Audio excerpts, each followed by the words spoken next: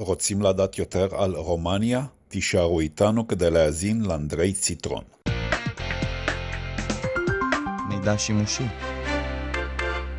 לנמל התעופה הבינלאומי אברהם ינקו בקלוז' נפוקה, שבצפון מערב רומניה, השני מבחינת היקף התנועה האווירית במדינה, יש מסלול המראה חדש. הושלמו העבודות במסלול ההסעה החדש, המקביל למסלול הנחיתה, אשר יספק את התשתית הנדרשת להפעלת מספר גדול יותר של מטוסים, בתנאי בטיחות וביטחון מוגברים.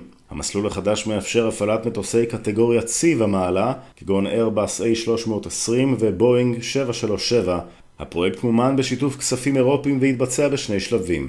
מלבד זאת, דוד איצ'ג'רו, המנהל הכללי של נמל התעופה הבינלאומי אברהם ינקו בקלוז', השתתף בכנס השנתי של האיגוד הבינלאומי של מנהלי נמלי תעופה, שם הציג כמה היבטים אזוריים הנוגעים לנמלי תעופה בהקשר האירופי הנוכחי. בשנת 2022 נרשמו למעלה מ-2.6 מיליון נוסעים בנמל התעופה הבינלאומי של קלוז' ולשנת 2023 מעריכים שהוא יגיע לכ-3.1 מיליון נוסעים. לגבי התחבורה האווירית ברומניה, הנתונים מראים שתנועת הנוסעים תחזור לערכים שנרשמו לפני המגפה עד סוף 2023. חברות לואו-קוסט מפעילות כ-70% מהתנועה האווירית ברומניה. לונדון, מילאנו ובוקרסט הן בין היעדים המובילים מנמלי התעופה ברומניה. חברת טיסות הלואו-קוסט ריינאייר הכריזה לעונת החורף 2023 על שני יעדים חדשים היוצאים מבוקרסט לפריז בובה ולטיראנה, אלבניה. כך ריינאייר תפעיל טיסות מבוקרסט ל-27 יעדים. המפעיל יגדיל את תדירות הטיסות לששת היעדים הפופולריים ביותר, כולל בריסטול, קטניה, מדריד ומלטה.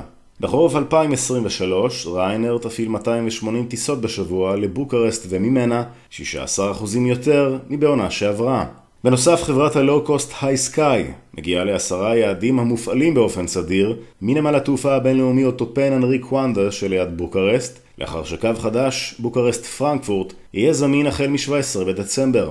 הקו יופעל בתדירות של שלוש טיסות בשבוע, בימים שני, רביעי ושבת. עם השקת הקו החדש הופך את גרמניה למדינה השביעית, אליה יכולים הנוסעים להגיע מבוקרסט עם טיסת הייסקיי. נמל התעופה הבינלאומי אוטופן הפך לבסיס התפעולי העיקרי של הייסקאי. על פי הדירוג לפי מספר הנוסעים שהוסעו, חברת התעופה נמצאת במקום הרביעי מבין מפעילים בנמל התעופה הזה.